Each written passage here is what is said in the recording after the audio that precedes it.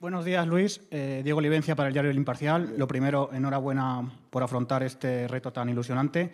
Yo quería hacerte dos cuestiones. La primera, vas a poder quitarte la espinita con Gaby, que dada su...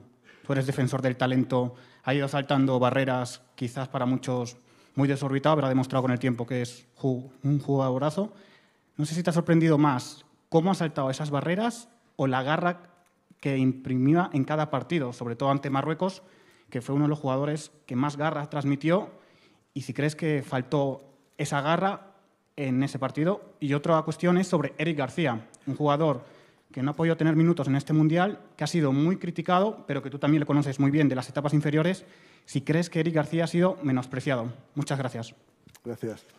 Diego, eh, es una suerte que haya futbolistas que, como estaba comentando antes, que, que saltan barreras. Hay futbolistas que están, yo me gusta decir que están tocados por esa varita de Dios que es que son tan, tan, tanto, tienen tanto potencial que es que se desarrollan con una rapidez que no da tiempo ni siquiera a, que cubran sus etapas normales, que se producen esos saltos y esas apariciones tan espectaculares como ha sido la de Gaby. Me parece que es un futbolista pues eso, muy importante y que ahora, como bien dices, voy a tener la suerte de, entrenar y bueno, pues a él como a otros les animo a que sigan trabajando de la misma manera para que sigan siendo cada día, mejor, cada día mejores. ¿no?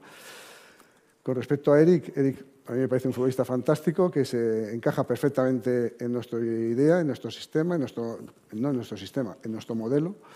Y me parece un futbolista que, que, con tranquilidad, yo creo que de todas formas, que sé que parte del trabajo del futbolista es aguantar las presiones, pero quizás en algún momento determinado se le se, se presionó mucho, estuvo un poco más nervioso, pero yo creo que es un futbolista que con tranquilidad y con la madurez que va a ir adquiriendo en la medida que vaya pasando y viviendo estas situaciones, le van a hacer mejores y seguro que va a rendir a un gran nivel. Es otro futbolista que también llamado para encajar perfectamente en nuestra idea, en nuestro modelo de juego.